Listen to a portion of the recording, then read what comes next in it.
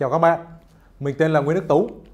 Thì vừa rồi mình ờ, nhận được một số các cái câu hỏi mà chủ nhà trước khi xây nhà họ rất là muốn thiết kế nhà.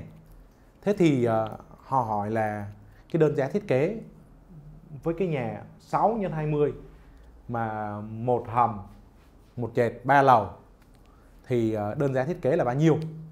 Thì hôm nay mình sẽ chia sẻ cho các bạn để các bạn biết cái cách tính theo cái đơn giá thị trường thì à, ở đây cái đơn giá thiết kế thì nó sẽ khác với đơn giá xây dựng.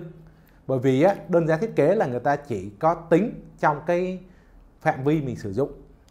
Còn đối với cái đơn giá xây dựng á, họ sẽ tính thêm hệ số móng và hệ số mái nữa. Ví dụ như là bên uh, thiết kế là nhà mà 6 x 20 thì là một hầm. Hầm đây này là 120 mét này. Thứ hai lầu trệt này 120 này mình đang lấy ví dụ là một cái nhà nó xung đột nó không tính ban công nha các bạn. Lầu 1 có 120 lầu 2 120 lầu 3 120 thì mình cộng tổng nó ra là 600 mét vuông diện tích sử dụng. Còn đối với thi công ấy, người ta sẽ tính cái đơn giá nó sẽ cao hơn bởi vì nó sẽ có thêm hệ số móng và hệ số mái. Ví dụ như là móng cọc là người, họ sẽ tính thêm cái hệ số là 0,3 này. Còn đối với tầng hầm là họ sẽ phải nhân 2 đối với tầng hầm mà nó trên 1 m bảy. Thì họ sẽ phải nhân cái hệ số nó nhân nhân hai lên. Bởi vì sao? Bởi vì khi mà thi công á, nó sẽ tốn cái tiền nhân công để làm móng và làm mái nên họ sẽ phải tính cái mét vuông đấy vô. Nên là cái mét vuông của bên um, xây dựng nó sẽ cao hơn so với bên mét vuông của bên thiết kế. Để các bạn cần phải lưu ý vấn đề này. Thì đây mình đang lấy một cái nhà lý tưởng này. Thì nó ra được khoảng 600 mét vuông sử dụng. Một hầm một trệt và ba lầu đó. Thì ờ, cái đơn giá thiết kế nó là bao nhiêu? Thì bây giờ thị trường á, đối với những cái thiết kế mà ờ, gọi là cơ bản á, là gồm là phối cảnh 3D bên ngoài này kiến trúc này triển khai kiến trúc này triển khai kết cấu này triển khai điện, triển khai nước, đó, hoặc là thêm camera hay là gì nữa.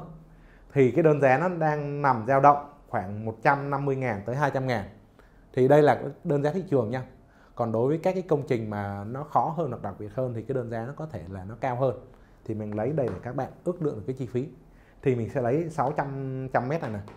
Mình nhân cho 150 ngàn mình đang lấy cái đơn giá mà thấp nhất đó, thì nó ra khoảng 90 triệu tiền thiết kế kiến trúc kết cấu và điện nước.